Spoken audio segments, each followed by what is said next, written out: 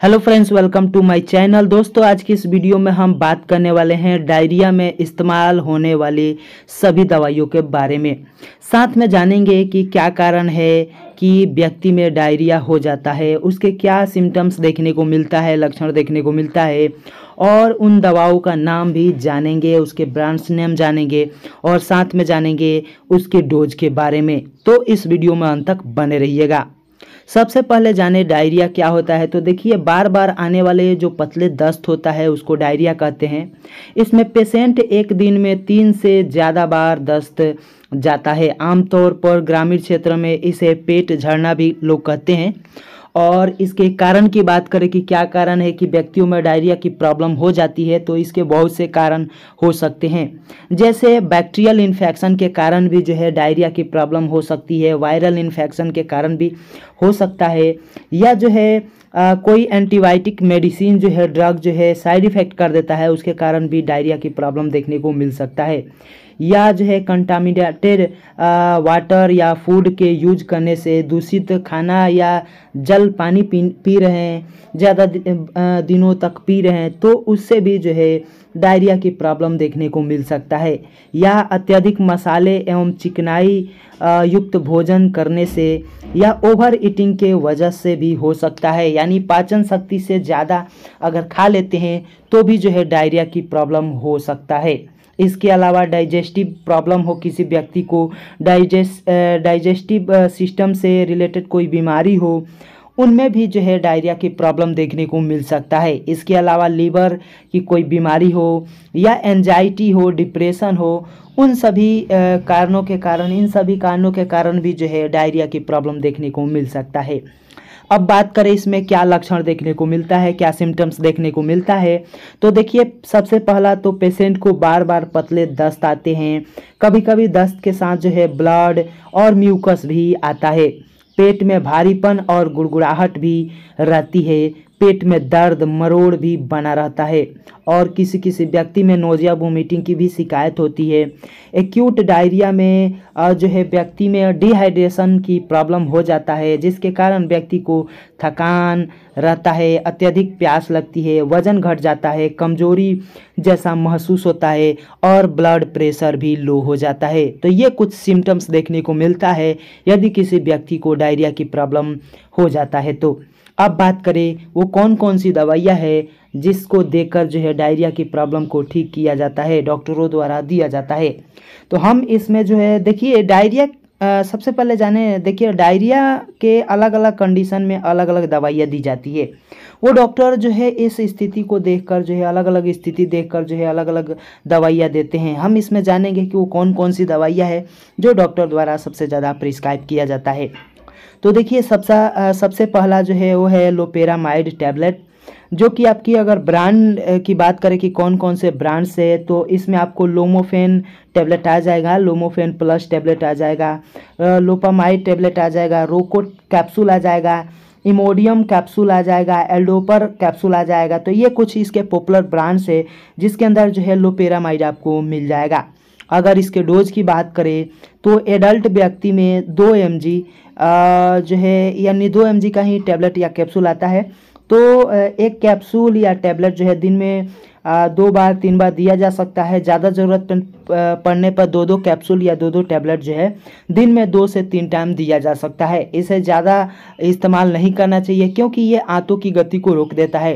तो जो शरीर के जो आ, जो विषाक्त पदार्थ है जहरीले पदार्थ है वह नहीं नहीं निकल पाते हैं इसलिए इसे ज़्यादा यूज़ ना करें। दूसरी बात करें तो वो है रेस के रेस रेस्केडोट्रिल दवा, जिसका अगर ब्रांड्स की बात करें तो है रेडोटिल कैप्सूल हो गया, रेडोट कैप्सूल हो गया, या एनफ कैप्सूल या एडी कैप्सूल, ये कुछ जो है इसके रेस्केड्रोटिल का जो है कुछ जो ब्रांड्स है। इसके अलावा जो है रेसी डॉट कैप्सूल भी आ जाता है, जिसके अंदर जो है रेसेको ड्रिल आपको मिल जाएगा। अगर इसके डोज की बात करें तो एडल्ट व्यक्ति में जो है 100 मिलीग्राम से लेकर 300 मिलीग्राम जो है दिन में तीन बार दिया जाता है। अगली दवा की बात करें तो है डाइफिनोक्सीलेट, जिसके अगर जिसके ब्रांड्स की बात करें तो इसका सबसे पॉपुलर ब्रांड्स है वो है लोमोटिल टैबलेट। जिसके डोज की बात करें तो एक टैबलेट जो है दिन में दो बार दिया जाता है। ज़रूरत पड़ने पर दिन में तीन बार भी दिया जाता है। अगली जो दवा है वो है एंट्रोक्यूनॉल टैबलेट जिसके जिसके अंदर जो है क्वीनाइडोक्लोर मिल जाएगा 250 मिलीग्राम। इसके अंदर जो है क्वीन क्वीन क्वीनाइडोक्लोर 250 मिलीग्राम मिल जाएगा। इसका पॉपुलर ब्रांड्स एंट्रोक्यूनॉल है। अगर इसके डोज की बात करें तो देखिए ये 250 मिलीग्राम की टैबलेट आता है। तो दिन में एक एक टैबलेट तीन बार दिया जा सकता है। ज़रूरत पड़ने पर दिन में दो दो टैबलेट भी तीन बार दिया जा सकता है। दो से तीन बार दिया जाता है। अगली जो डायरिया की दवा है, वो है मेट्रोनिडाजोल जिसकी अगर ब्रांड्स की बात करें तो फ्लैजिल टैबलेट मेट्रोजिल टैबलेट इसके सिरप और टैबलेट दोनों आता है। अगर इसके डोज की बात करें तो एडल्ट व्यक्ति में 400 मिलीग्राम से लेकर 800 मिलीग्राम दिन में दो से तीन बार दिया जाता है। अगर अगली डायरिया की दवा के बात करें तो है सिप्रोफ्लॉक्सासिन दवा।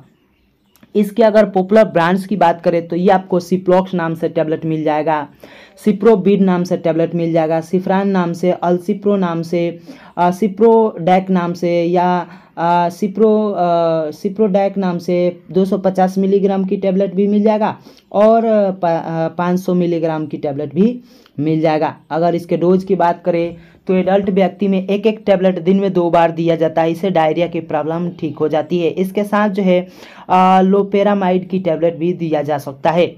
अब बात करें, अगली जो दवा है, वो है टीनिडाजोल टीनिडाजोल जो है सबसे पॉपुलर ब्रांड है वो है टीनिबा टैबलेट जिसके डोज की बात करें तो एक टैबलेट सुबह में, एक टैबलेट शाम में खाना खाने के बाद दिया जाता है।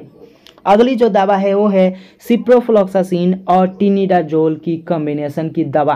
ये दोनों जो है कम्बिनेशन फॉर्म में आता है, जिसके अंदर सिप्रोफ्लॉक्सासिन और टीनिडाजोल मिल जाएगा।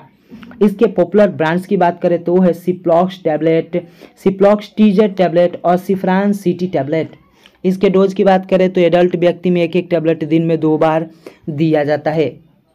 अगली जो पॉपुलर दवा है डायरिया की, वो है सिप्रोफ्लॉक्सासिन और ओरनीडाजोल की कॉम्बिनेशन की दवा। जिसके पॉपुलर ब्रांड्स की बात करें, वो है Ciplox OZ tablet जोक्सन OZ tablet और सिफ्रान ओजेड टैबलेट इस, ये जो है कुछ पॉपुलर ब्रांड्स है, जिसके अंदर सिप्रोफ्लॉक्सासिन और ओरनीडाजोल आपको मिल जाएगा। इसके भी डोज की बात करें तो दिन में दो टाइम एक एक टैबलेट लिया जाता है, खाना खाने के बाद। अगली जो दवा है, वो है नर्फ्लोक्सासिन। या नर्फ्लोक्सासिन के साथ जो है टिनिडाजोल। इसमें अगर पॉपुलर ब्रांड्स की बात करें तो नर्फ्लॉक्स 200 मिलीग्राम और 400 मिलीग्राम की टैबलेट आता है तो Norflox tablet, Norflox T Z tablet नर्फ्लोकैम tablet, अल्फ्लॉक्स tablet, ये कुछ पॉपुलर ब्रांड्स है, जिसके अंदर आपको नर्फ्लॉक्सासिन मिल जाएगा और साथ में जो है टिनिडाजोल भी मिल जाएगा। इसके डोज की बात करें तो दिन में दो बार दिया जाता है। और ये दवाइयाँ सिर्फ़ डायरिया में ही नहीं काम आता है, और भी अलग अलग तरह की बीमारियों में दिया जाता है। यूटीआई की प्रॉब्लम में या जो है आंतों से रिलेटेड कोई प्रॉब्लम हो, उसमें भी दिया जाता है। स्किन रिलेटेड कोई प्रॉब्लम हो, उसमें भी दिया जाता है। तो ये अलग अलग दवाइयाँ जो है अलग अलग बीमारियों में भी दिया जाता है। लेकिन इसमें सिर्फ़ मैं बता रहा हूँ कि ये डायरिया में सबसे ज़्यादा भी यूज़ किया जाने वाला दवा है। अगली जो दवा है, वो है ओफ्लॉक्सासिन ये आपको 100 मिलीग्राम 200 मिलीग्राम और 400 मिलीग्राम की अलग अलग स्ट्रेंथ में भी मिल जाएगा। अगर इसके पॉपुलर ब्रांड्स की बात करें तो वो है Oflox tablet जोनोसिन tablet Zenflox tablet Oflomac tablet ओफ्लोकैम tablet ये कुछ पॉपुलर ब्रांड्स है। अगर इसके डोज की बात करें तो एक टैबलेट दिन में दो बार खाना खाने के बाद दिया जाता है। अगली जो डायरिया की दवा है, वो है ओफ्लॉक्सासिन और ओरनीडाजोल की कॉम्बिनेशन की दवा। जो कि आपकी अगर पॉपुलर ब्रांड्स की बात करें तो ये आपको ओ टू टेबलेट नाम से मिल जाएगा। जेनफ्लॉक्स ओजेड नाम से टेबलेट मिल जाएगा। ओफ्लॉक्स ओजेड टेबलेट ओरनोफ ओरनोफ टैबलेट ओरनी ओ tablet जोनोसिन OZ tablet Oflomac OZ tablet ये कुछ पॉपुलर ब्रांड्स है जो सबसे ज़्यादा जो है डॉक्टर प्रिस्क्राइब करते हैं। जो अलग अलग एरिया में जो है अलग अलग आपको दवाइयाँ मिल जाएगा। अब बात करें, डोज की बात करें तो एक एक टैबलेट दिन में दो बार जो है खाना खाने के बाद दिया जाता है एडल्ट व्यक्ति में। और अगली जो दवा है वो है जेंटामाइसिन ये एक एंटीबायोटिक जो है इंजेक्शन है इंजेक्शन फॉर्म में आता है। तो किसी किसी व्यक्ति में जो है डायरिया के प्रॉब्लम में जो है या किसी बच्चे में जो है ये जेंटामाइसिन का इंजेक्शन भी दिया जाता है जो कि जेंटासिन नाम से आपको आ, मिल जाएगा या जेंटामाइसिन नाम से ही मिल जाएगा। दो एम की एम्पुल भी आता है। इसके डोज की बात करें तो 80 मिलीग्राम आईएम या आईवी जो है दो टाइम दिया जाता है। 80 मिलीग्राम जो है दो एम्पुल में होता है। आ, पर एम एल चालीस मिलीग्राम होता है। तो एक एम्पुल सुबह में एक एम्पुल शाम में दिया जा सकता है। एक से दो टाइम दिया जा सकता है। इसे मांसपेशियों में भी दिया जा सकता है नसों में भी दिया जा सकता है।